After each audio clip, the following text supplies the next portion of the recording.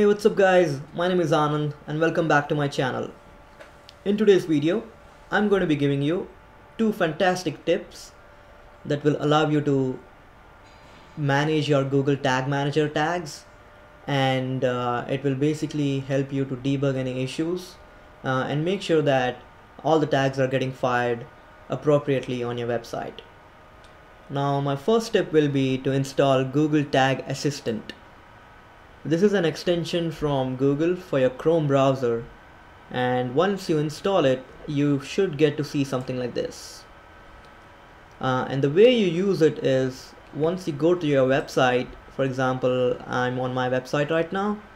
Um, once you're on your website click on the tag assistant and hit enable. And once you hit, hit enable just refresh the page and basically the tag assistant should be able to tell you how many tags it found and if they are getting fired or not. Now as you can see both the tags that I have installed on my website are getting fired. That's the first step and I highly recommend installing this on your on your Chrome browser because a lot of times you might have like more than five tags or 10 tags and you just want to make sure that you know everything is functioning properly on your website.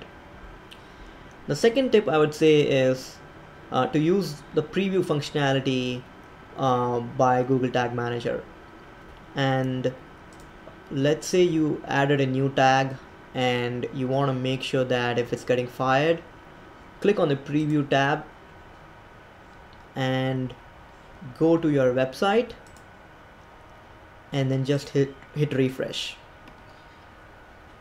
as you can see Google Tag Manager will open up a pop-up window and it will give you a summary of all the tags that are fired on this page. And in this case I have my two tags that is Facebook Pixel and Google Analytics and they both are getting fired.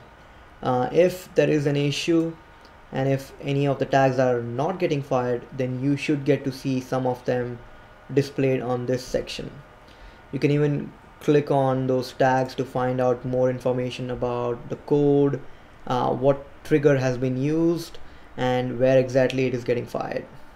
And if you have any blocking triggers it will show you in this section.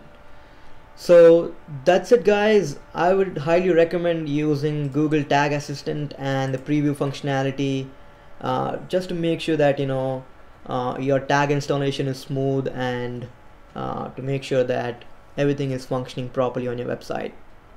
So that's it for today.